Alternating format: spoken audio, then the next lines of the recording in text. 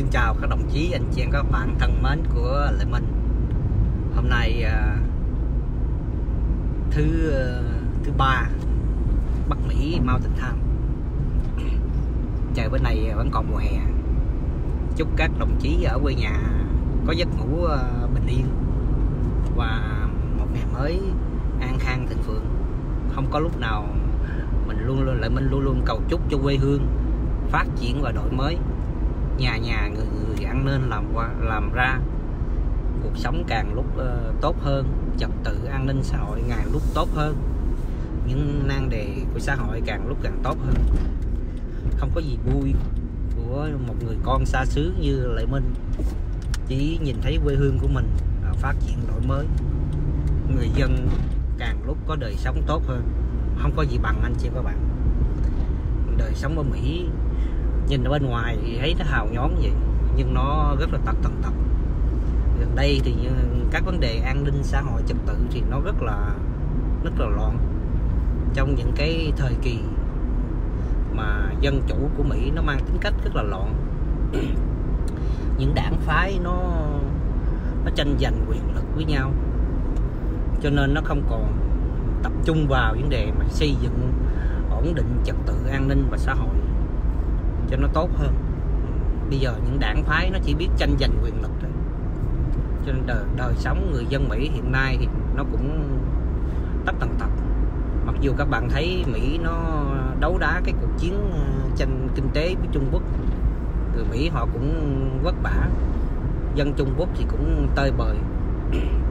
Nhưng mà mình ờ, vui là nhìn thấy ở quê hương của mình.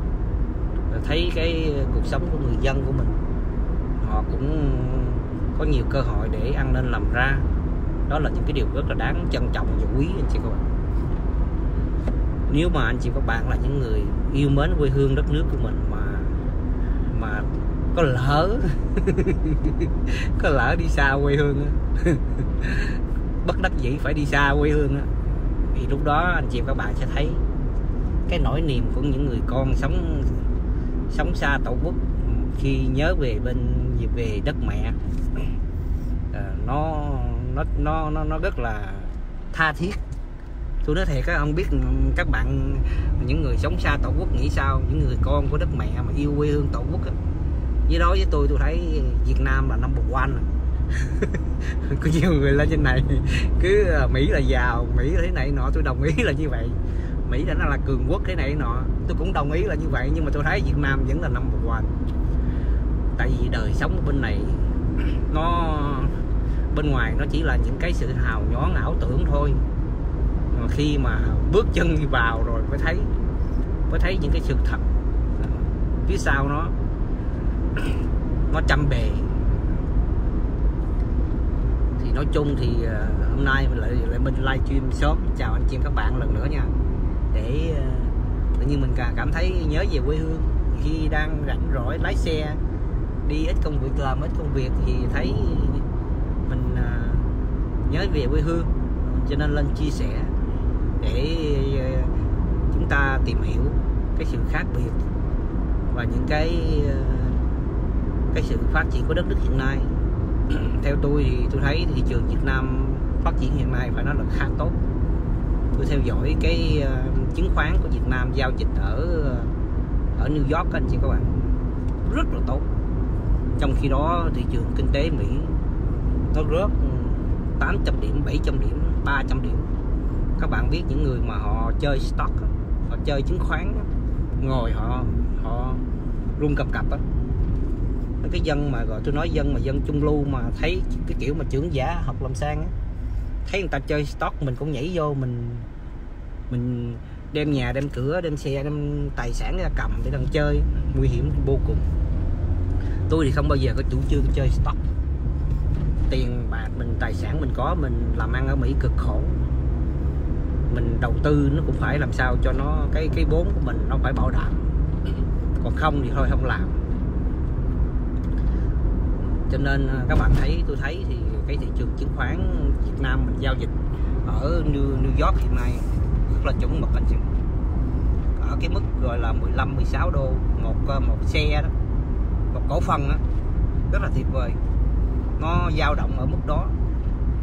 Ngay cả hôm nay thị trường à, chứng khoán của Mỹ tôi nhìn tôi thấy nó rớt. Nhưng mà phía Việt Nam vẫn vẫn tăng. Cái giao dịch của Việt Nam vẫn tăng. Các bạn thấy tuyệt vời.